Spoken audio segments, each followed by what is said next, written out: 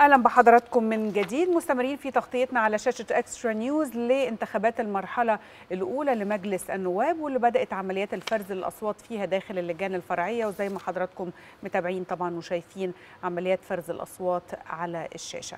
طيب في هذه الفقرة هنحاول نقرأ ونحلل المشهد الانتخابي في ظل فشل دعوات المقاطعة اللي دعت إليها جماعة الإخوان الإرهابية ومنصتها الإعلامية في قطر وتركيا. اسمحوا لي أرحب بضيفي الكاتب الصحفي الأستاذ جمال الكشكي رئيس تحرير الأهرام العربي. أهلا بيك يا أستاذ جمال. أهلا بحضرتك يا فندم. أهلا بحضرتك وأنا عايز أبدأ فعلا بالمشهد الانتخابي على مدار يومين. شفنا التصويت وشفنا نزول المواطنين الحقيقة بأعداد كبيرة ويمكن ده كان خير رد على دعوات المقاطعة اللي دعت إليها الجماعة الإرهابية ومنصتها. قول لي يعني إيه الأسباب اللي, اللي أفشلت هذه الدعوات؟ أو قول لي شايف إزاي كمان رد المصريين على دعوات المقاطعة؟ يعني خلينا أقول بشكل حقيقي وبشكل يعني واقعي آه ما تم في هذه الانتخابات بالأمس واليوم. في الحقيقة هو آه آه نموذج حضاري للمشاركة الانتخابية. وقبل ما ما ما ما أخش في تفاصيل السؤال بتاع حضرتك خلينا نقول إنه مصر صاحبة أول تجربة نيابية في تاريخ العالم العربي. 1866 في عهد الخديوي إسماعيل. يعني إحنا بنتكلم عن دولة لها جذور حقيقية عميقة في التعامل مع مفهوم المجالس النيابية وكان اسمه مجلس شورى آنذاك مجلس شورى القوانين أو مجلس الشورى النيابي.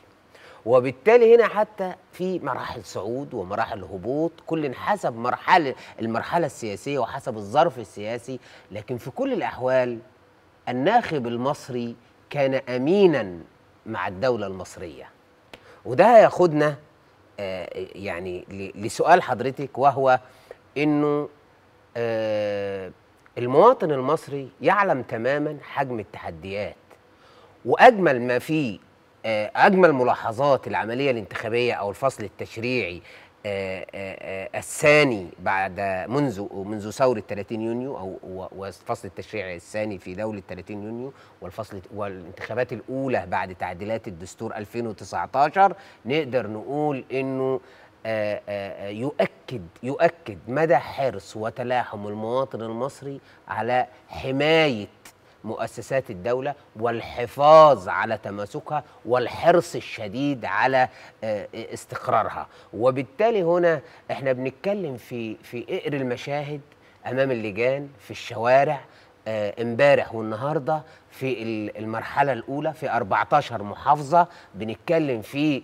71 دايرة يعني تقريبا 140 ألف لجنة. يعني بنتكلم في مشاهد في الصعيد واسكندرية والبحيرة ومطروح وغيرها.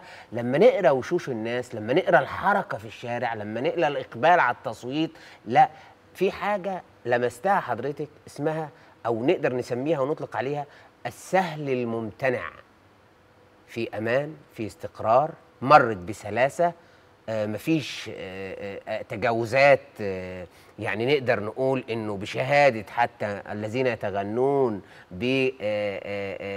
بشهادة الأجانب والمراسلين الأجانب البي بي سي نفسها حسب التقارير اللي عملتها الهيئة العامة للاستعلامات فبتؤكد إنه لا توجد مخالفات ولا توجد تجاوزات لا توجد حالة واحدة تثبت أن هناك مال سياسي استخدم لا داخل اللجان عملية منظمة إلى أقصى درجة. في الوقت اللي فيه كمان مصر بتم... العالم كله العالم كله يمر بجائحة كورونا وفي نفس الوقت استضاعت ونجحت مؤسسات الدولة المصرية أن, أن, أن, أن, أن تكون منظمة وأن ترتب هذه العملية وأن تتخذ كافة الإجراءات الاحترازية في التعامل مع العملية الانتخابية طيب لما نقول دعوات الجماعات الإرهابية أو الإعلام الشر تجاه مقاطعة صحيح. ال ال ال ال الانتخابات ما هو المواطن المصري آه بالظبط. يعني والمواطن المصري الحقيقة أفشل هذه الدعوات. المواطن المصري يعي تماما. يعني خلينا نقول هم يعني في مكملين أو الشرق أو الجزيرة أو الجماعة الإرهابية أو وسائل التواصل الاجتماعي.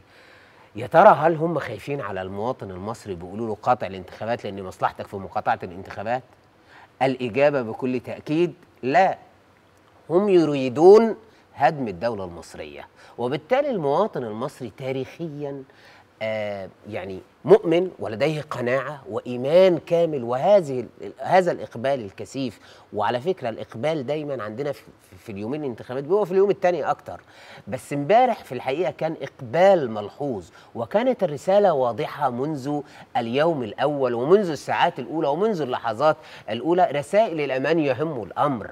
هذه الدولة ثابتة هذه الدولة راسخة. المواطن المصري لديه وعي كافي ووعي كبير آآ آآ للدفاع وللمشاركة في هذه الاستحقاق الدستوري للحفاظ على مؤسسة تشريعية مهمة من شأنها وفقا لدستور 14 الذي منح المجلس النيابي وسمي في مجلس نيابي وفقا لدستور 14 ووفقا للصلاحيات التي أعطاها لي.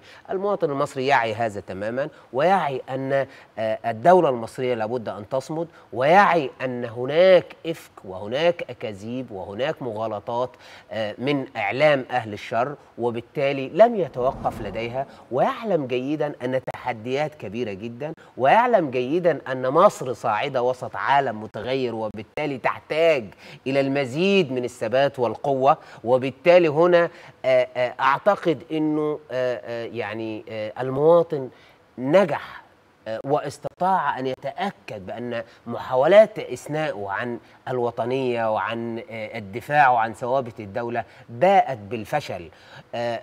كشفت هذه الجماعة الإرهابية كشف إعلام هذه الجماعة الإرهابية لم يعد مقنعا لطفل في مهد أيامه. كل هذا أكاذيب وكل هذا وبالتالي هنا كان الرد يعكس ويؤكد عمق الوعي لدى المواطن المصري. منذ اللحظات الأولى للعملية الانتخابية وكان المواطن المصري حريصا في 14 محافظة على أنه يشارك وأنه يرد على هذه الأكاذيب وهذه الشائعات وهذه التحريضات لأنه يعلم تماما أنه لا بديل عن استقرار الدولة ويعلم تماما أن التماسك الداخلي في هذه اللحظات الصعبة وفي هذه اللحظات المهمة من تاريخ وعمر الوطن تحتاج إلى وقفة حقيقية.